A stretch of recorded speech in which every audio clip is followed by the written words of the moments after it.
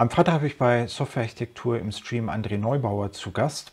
Äh, André, möchtest du kurz zwei Worte über dich sagen? Ja, hallo Eberhard. Ähm, ja, zwei, drei Worte zu mir.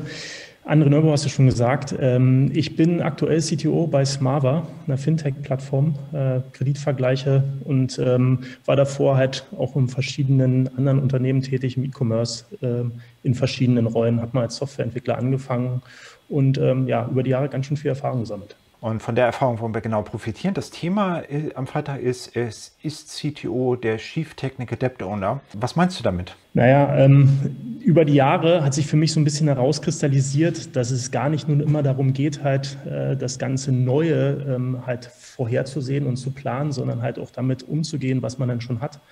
Ähm, und eine der größten Herausforderungen sind natürlich halt Legacy und sind halt technische Schulden.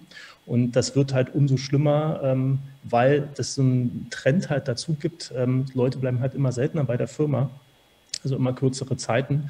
Und ja, die Software bleibt. Und die Frage ist halt so ein bisschen, wie geht man damit um? Wir freuen uns auf äh, zahlreiche Zuschauer, auf eure Fragen und eure Diskussionsbeiträge und sehen uns dann hoffentlich am Freitag.